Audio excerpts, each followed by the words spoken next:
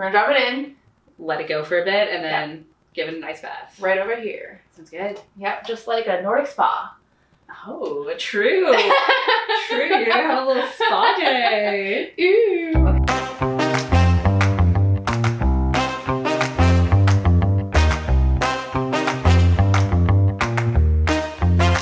Hi, Rebecca. Hello. so you are a chemist. I am a chemist. Tell me a little bit more about like how you got into chemistry.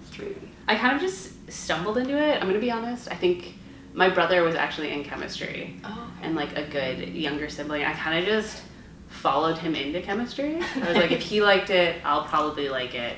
I have stuck with it though for Nice. a lot longer. But you are also a chemist. How did you end up? Um, basically did my first year of undergrad and it was like undecided. I was just like, I don't, I don't know what I want to do. I went to my advisor and he was like, well, what do you like? What do you don't like? I'm like, well, I don't, I don't know that physics is right for me. um, but like, I really like the nitty gritty. I like atoms and molecules. I do like the big stuff too, like the more macro science, but not sure I like anatomy. okay. Um, and he was like, well, chemistry might be like a nice like in between. Okay. Yeah, I fell into chemistry similarly, but in a different way. Yeah. I was lucky enough to start working in a lab after first year. Shout out Ken Malley, who was my mentor like all through my undergrad. I had made like something and he walked up and he's like, How does it feel to have made something that has never existed in the world before? And that was like the moment for me. That's really cool. Yeah. So I only did my bachelor's. I didn't go much further than that, but I think if I had that moment, like that's Yeah. such a cool and unique experience to Yeah. have, and like really motivates you to keep Yeah. keep going. Yeah. It, it worked. I was actually a biology major at the time. Oh. that's, that's what flipped me. That's So- funny because I remember we would sometimes share labs with like the biochemists. Okay. Like, "Ugh, the biochemists. Like, they don't even know what it's like. No. it's not as hard. You've come to the dark side. yeah. So you did your PhD then in I did. materials chemistry. materials, uh, specifically uh, like polymers or plastics. They're they're called self-immolative, which it's to sacrifice oneself by fire. So I always say I worked on self-destructing plastics. Oh my god, I love that. It's Yeah. the best way to brand it. Yeah, it's not quite the same, but uh, yeah, that's that's how I would explain like what I did my PhD research on. Right. And now I no longer work in the lab. I work as a science communicator. Same here. Lessons in Chemistry. It's a book, became a show, Yes. Emmy nominated. So I feel like we should talk about it. Yeah. So it's about Elizabeth Zott. She's a chemist. Starts in 1951. Things don't really pan out, and then she ends up being like this famous TV show like cook, and she brings And, like, the science of it. Yeah, the science of cooking. Yeah. Chemistry of The cooking. chemistry of cooking. Yes. One of the things that like jumped out to me when I was, watching the show was like the specific time period. I didn't know much about this time period at the time, but um, just based on the conversations, it seemed like there's a lot going on around like DNA at the time. DNA and proteins. Yeah. yeah, when we were going through school, it was like DNA is genetic material, fact. Yeah. but in the TV show, it's at that period in time when like they didn't know that they were figuring it out. It was like there was like a race, and so I think the reason it's kind of like 1951 is like in 1952, 53 is Yeah. when there was like a bunch of um, big discoveries in like in the real world. This Yes. I think it was uh, the like the Miller Urey experiment. And it's kind of like the experiment in like abiogenesis, which is what Elizabeth Zott is like super interested Yes, in. yeah. Which is like being able to make life out of uh, non-life materials, whereas there are other people who thought life came from other Decay, life, yeah. like decaying matter. Yeah. And or the same year, 1952, Alfred Hershey and Martha Chase kind of proved that DNA was what was like allowing traits to be passed on from parent to Yeah. child. So that was 52. And then I think actually in like 1944, there were like a couple people who first demonstrated that DNA could be holding Yeah. genetic material, but like no one really, they're all like, no, it's protein. Yeah. And we're like, mm. it kind of took a while before people Yeah. were like, oh, maybe it is DNA. Yeah, so like it was like 1952 Hershey Yeah. and Chase. There was enough evidence, like a body of evidence. At that point, Right. people are like, okay, Like maybe it is. maybe it is yeah. And then I think 53 Yeah. is when we discovered the structure of DNA, DNA. with. Watson and Crick and Rosalind Franklin. Yeah. the you know under-recognized Rosalind The under-recognized. Franklin. But also Martha Chase is a little bit under-recognized, I'd say, Yeah. potentially. I don't know. I don't know enough about her, but I was like very excited when I was like reading Yeah. into that. I was like, oh, that's a that's which Yeah. leads me. I want. I was trying to figure out like something of like who was Elizabeth Zott and Kelvin Evans supposed Yeah. to be in the show, and I feel like they're kind of a conglomeration of all of those those people all we talked about. Yeah, they do a lot of name dropping in this show. Yeah, in the first episode. In the first episode, and you're like Richard Feynman and like Vauquelin, and they're kind of like awkward name drops in a way. Like they're not as relevant. The name drops are interesting in the choices that they made and who they Mhm. name drop. Yeah, because all of these people that were very pivotal in like 1952 and 53 that we had mentioned, like, were they not mentioned because they don't exist in this world? Yeah. Or is it just because no one knew who they were yet? Yeah. Yeah. But then, like, you know, if it's 1951, like, if you're in Yeah. the field, you would know of them, right? Yeah. I would assume, like, You would think. right? Rosalind Franklin's X-ray diffraction helped figure out a structure. Her colleague Wilkins had shown this image to Watson and Crick, who were like not at the same institution, so they knew of each other. They weren't famous the way that they are famous today. Yeah. In that case, there's no mention, potentially, yeah, like it's an alternate universe. But I think it's almost a missed opportunity here where you don't really see that historical context. I found it so much more interesting after I was like reading these Wikipedia Yeah. pages. Like, I paused the first episode. Right. Because I was like, what are they Yeah. talking about? And then I was like, oh, this is so much cooler to yeah, me now. you don't really understand the significance of what their research is and what their and why they're so upset when the research is getting stolen. yeah. without that that context of like this was Yeah. groundbreaking work. The show doesn't do enough to prove that it's groundbreaking to the Yeah. viewers. When they submit their grant application, they say, you know, we are assuming that DNA is the basis of life in our research, knowing that that's against the Hastings position. But later, Donatti steals their work. Yeah, I think it just would have been really cool to be able to paint more of It that also- context here. It also adds I forget if it's episode one or episode two, but a different context to when Kelvin is teaching Harriet's daughters. She's Yes. doing the he's doing the strawberry DNA extraction. yeah, And he he says DNA is like the foundation Right. of life. And in that context I'm like, that was actually a bold statement. yeah. Because we didn't know that yet at that No, point. rather than like I believe that DNA is the foundation of life. It was also because it's like I don't, I don't know like I kind of like saw as like of course they're doing the strawberry DNA. Yes, I like extraction. roll my eyes a little bit because like that has been done like all the time. I've done it so many times working Yeah. with like student um, science workshops and stuff like that. So despite the eye rolling, Uh huh. we are back We're back. to do the We're strawberry do- DNA We're gonna extraction. do one more time. So first thing, we've got our strawberries. We're gonna put them in this beautiful Ziploc bag. Okay. Do Well, we do we take the stems off? We do have to take some Okay. off. Beautiful cutting. See, if you were a child, I definitely wouldn't let you do that part. You wouldn't let me use the knife. No, probably wouldn't. No, maybe if, I ha- if we had like a plastic knife, but That's that's fair. we're trying to be as sustainable as possible today. and then and I, I, then- I smoosh. You smoosh. We're gonna smoosh for two minutes. This will break open our strawberries to get to the good stuff. Okay, so now the next step is we have half a cup of water here. Okay, water. Yeah. And then we have salt, or as Elizabeth Zott would call it, sodium chloride. So, So I think we're adding the salt to help uh, any proteins that might be like kind of attached onto the DNA. Uh, it'll it'll help kind of remove those, get those off. we're gonna put two teaspoons of detergent in here. And uh, the dish detergent helps with dissolving the cell membrane so we can further and get the DNA.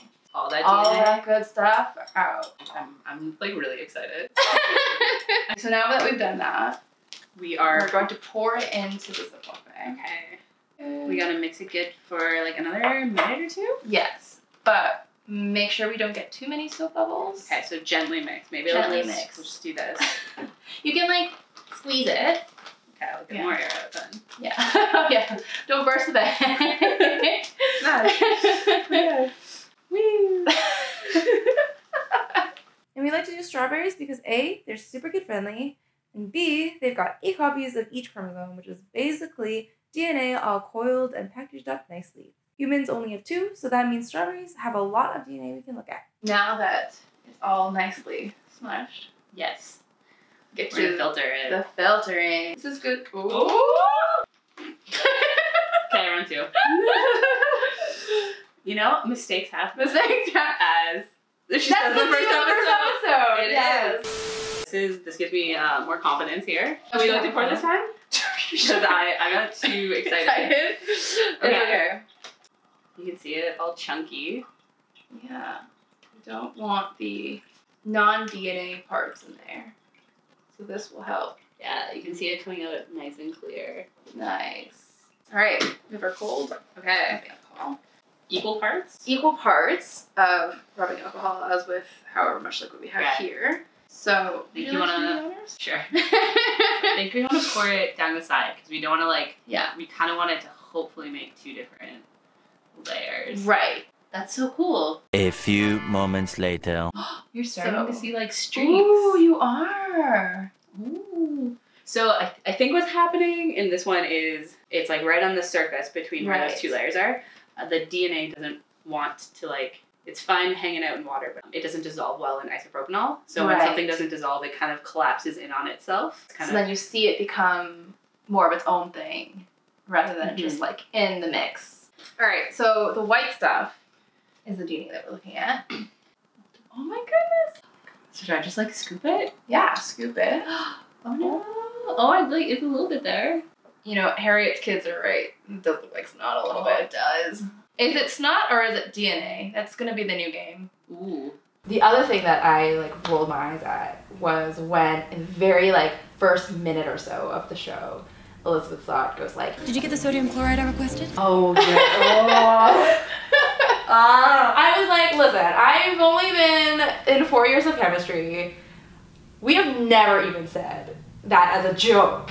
No, n- never. Like my husband is also a chemist. Right. And at at no point, Yeah. I think the only time we would have. No, not even then. it's like when we worked in the same lab. Right. Would we have? At most, we maybe would have said NaCl, which is like sodium chloride, the like the spelling short of the form. Yeah. but never in our actual kitchen. No. I refer to it as Not in the kitchen. Never. No. She does the same thing with like, well, no, not the same thing, but she says CH3COOH. She writes that out as Yeah, the ingredient. She's Kachu. like, "Oh, Sorry. Kachoo. Sorry. it's not. It's not actually kachoo. yes, It's, no, the chemical formula. It does kind of look like It does kind of look like kachoo. and I love that. I'm stealing that from now on when I'm referring to acetic acid or vinegar. Yeah, I like how she said, "Oh, it's it's acetic acid." Yeah. Like, that clarifies it. Vinegar is like very specifically five percent acetic acid in water. Yes, So like five percent Kachu. five percent kachoo. it is five percent kachoo. Like I, I see that it all serves the purpose of like making her seem brilliant, but it's so superficial. It felt very like I don't know if pandering is the right term, but like Mm. playing up those like stereotypes to Right. like just sell like she's a smart person. Yeah, But I, I think most chemists that I know would not be using that language yeah. in in their house when they're talking about cooking Right. and cleaning. Yeah. If you look at media portrayal of scientists, Mhm. a lot of them have that very similar behavior and like way of speaking, which is less helpful when we've got scientists that, you know, act and speak very differently too. It would Yeah. be nice to be able to show sort of like that as well. Referring to like vinegar as CH3COOH, it makes common things sound like a lot more intimidating than it should be. Yeah. Inti- intimidating is the word I Yeah. would use. Chemicals have yeah. a bad rap. Yeah. And and there's like there's a few other instances in the show. The specific one I'm thinking of is when she says something about jet fuel. Do you know what line Right. I'm talking Yeah, about? yeah, yeah. Where she's like, you shouldn't eat anything that shares the same ingredients as jet fuel. Yeah, which like to be fair, like don't drink jet fuel. like it's it's, Yeah. it's not good, but it, it has that same like fear mongering. Yeah. Did you grow up Yeah. with a statement that was like, um, don't eat anything you can't pronounce? Yes, exactly. Like in hindsight, it's a little bit like Anglo-centric. There are a lot of things that are edible in different languages that you can't pronounce. Yeah. She says something similar too with the, the can of soup. A sponsor is like a soup company, and she's like, you shouldn't have this canned soup because it's full of chemicals and not the good kind. Oh, Yeah, and, And that's- like- I don't, I don't think there's like inherently good or inherently bad, Bad. chemicals. It's Yeah. all in like the dosage. Like the dose makes the poison. yeah, Vinegar is five percent acetic acid Yeah. in water. That Yeah. and we, you know, make salad dressings with it. We Yeah. cook with it all the time. You say? But if you were to take pure acetic acid, Yeah. it's it's an acid. It would like burn your skin off. I Mm. did get because I wasn't always, you know, the oh, most you safe were the lab. most. I was always the most safe. Elizabeth Zott would be looking down on you.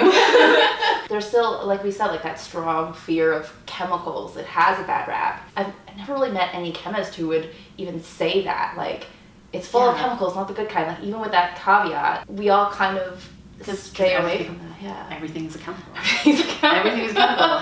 Yeah. Most most known chemicals like all have like you know safety protocols around Right. them. Even water has its own like safety Yeah, it's like This- 10 pages long. Yeah. Yeah. Like, how do you handle this? How do you handle water? How do you handle it safely? And Yeah. like, oh, I find it hilarious. Is like what to do if you like inhale it Yeah. and if you swallow it. Right? And it if has you get it on your clothes. if you get it on your clothes, you should take the clothes off and wash them. if you didn't know that H2O was, water, Yeah. like some of these things you could be like, oh, that's like kind of intimidating Right. and scary. Yeah. Yeah, we definitely need to be mindful of like what we consume and even Absol- how we consume it. Yeah, but I think that there is a level of healthy um, wariness and then there's going too far. Like you said, you know, like The dose makes the poison. the dose makes the poison. Yeah. Too much of even of a good thing can be a bad thing. yeah, everything in moderation, Everything in moderation. including moderation. Including moderation. Was there a backstory behind this? no, absolutely not. No backstory. of course, the ingredients list is there for um, important reasons, but like we need a different rule of thumb. I mean, if you take like tomatoes, for example. So tomatoes are made up of chemical compounds: leucine, threonine, valine, histidine, lysine, arginine, linoleic acid, linolenic acid, lycopene, beta car- carotenoids, beta sitosterol, campesterol, stigmasterol, quercetin, kaempferol, naringenin, caffeic acid, lutein. So like I struggle with saying those words. But like tomatoes are pretty healthy, I'm I'm sure, right? dose makes the poison. Dose No. makes the poison. Like just goes to show, like if you can summarize it in a snappy sentence, it probably is not like A good rule. A good rule. Yeah. uh, there's no room for nuance, right? Which is, I think, what a lot of these are lacking, and and why chemistry can get a bad rap. And as chemists, as people Yeah. who love chemistry, it's like really Don't hate sad. chemicals. Yeah. Just don't hate chemicals. They're All- really important. um, but yeah, like I've, I've heard, like you know, Canada's food guide is hasn't always been great, but it has made some um, updates, and it's a pretty good resource. And has tips for like you know how do you actually read a nutrition label? How do you actually Yeah. read an ingredients list?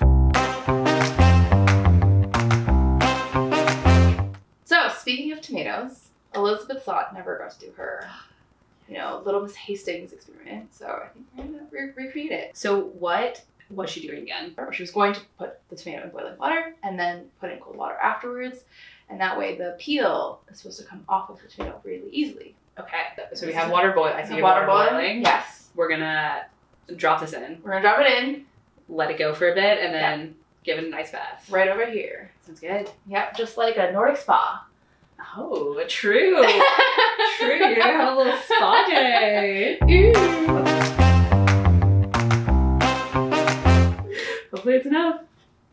And then we're supposed to do this for like 60 seconds. Yeah. according to Elizabeth.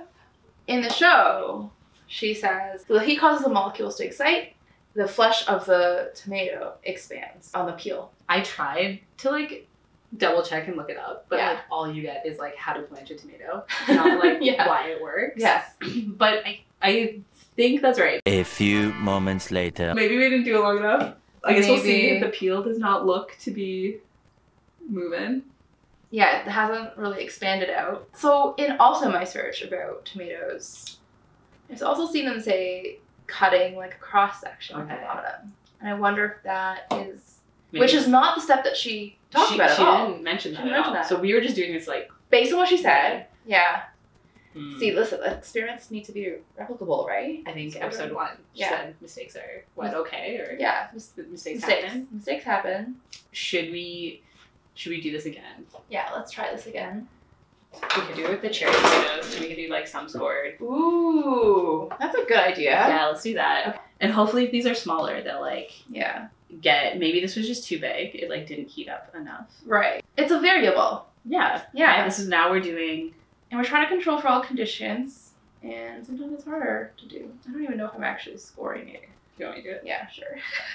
but maybe that I saw. Oh, that's probably a. We could do a Rebecca scores and Celia scores. I might have like gone too deep. I didn't go deep enough. Got But- two scored, and then Okay. we'll do Two two unscored. unscored, and then we'll leave two just in case we gotta do this the third time. Great. Okay. Perfect. Science. Okay. Experiment. Water's boiling. Water's boiling.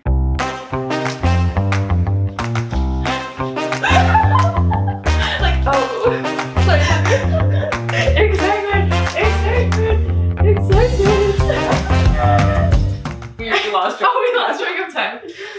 How is she gonna get boiling water on stage? This was my question because I don't think a kettle. I don't think it like if you bring Yeah. water to a boil. Yeah. And then you add the stuff. It's like It'll immediately. it'll it'll start cooling. Yeah. It'll like just suck in all the heat. Yeah. Whereas like I think you need the constant addition of heat. Yeah. And like, I don't know what what Yeah. technology they had in the '60s at that point. Maybe Like, she had she was gonna bring a hot plate. plate? Yeah. that's what that was. but like, then like, she would need the electrical power. yeah, I feel like. I don't know. That seemed like a lot to. It did seem like a lot. See, they didn't explain enough. No, they didn't. They didn't fill in all the blanks. Fill in all the blanks. Plot hole. if you had to do a little Miss Hastings, Oh, okay. I feel like if you you're a chemist, yeah. you, you would go for the classic elephant's toothpaste. Oh, right? that is fun. Like the big Yes. explosion. Yeah, yeah, I feel like that, or like Coke and Mentos is another. yeah. Yes. Did they have Coke and Mentos in the '60s? That's a great question, actually. It has to be Oh diet. yes, because of the It's- like it's- aspartame. Yeah, I think Yeah, it the is. I sugar it's- that they use. Yeah, I think that's what it is. Fun fact. I don't know if you should try this at home or not. But like, if you really want a good reaction, because you need more than one Mentos, so you hot glue gun Mentos together and then throw it in the Coke bottle, and then run away. But But smart. not my idea, but one that I used a lot. Yeah. oh, they're starting to wrinkle. Oh, there we go. Oh, it's already split open. Yeah. So I've also heard that the cold water just helps the tomato from not continuing to cook. That is a great question, and that's what I am also wondering. How much does the ice actually matter? Right, because they're already coming off. But I guess maybe you don't want to be touching a really hot tomato either. Yeah. So these Yeah. two are the ones that are scored. You can see it's like way Yeah. better than like these ones just like happen to split. But Yeah. like, Oh, not it's bad. off. Ooh. Ooh, yeah. And they both come off really Yeah. easy. Uh, do you want to? Yeah, go for it. Is it cooked? Mm-hmm. I think the ice water does nothing. I guess our consensus is if it's a larger tomato, You need more time. you need more time. than for the it to split. 60, 60 seconds. Can you imagine how long that would have taken? Yeah, like, and she's not like a talkative person on stage, right? She's Like, been staring at a tomato for like five minutes. yeah, because she wouldn't have been explaining anything, right? No. Like, a, a cooking show is slightly different than like watching a tomato. Literally Watching a tomato, watching a pot boil. watching a pot boil and then the tomato boil, Yeah. Different a lot. and then like the ice would have melted. Yeah. She needed a. I but I maybe it's the plot point of like she's kind of boring. Like, that's why Maybe. they put the not like one of those big explosive Right. talents. It's like it's like a subtle. Plus, like the cooking element as well, right? Yeah. That's true. Do you think you would like a cooking show yourself? Uh, probably not. No. Would you? Not a, not a cooking show. Yeah, I think I could. I'd be down for a show. I don't think cooking is the Yeah. like. I like cooking, and I think that I'm a pretty good cook, Yeah. but not a cooking show. I like the science behind cooking. Like Yeah. I feel like if I were to do one, it would more be the like the angle she took with her right. show. Yeah, like the Maillard reaction. Science of cocktails. Signs of cocktails. That That's would be a good one.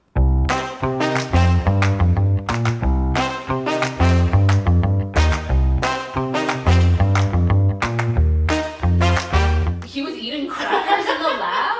Test out this lab coat business. Are we helping the cause? Or I hurting know. cheers to lessons in chemistry. Cheers.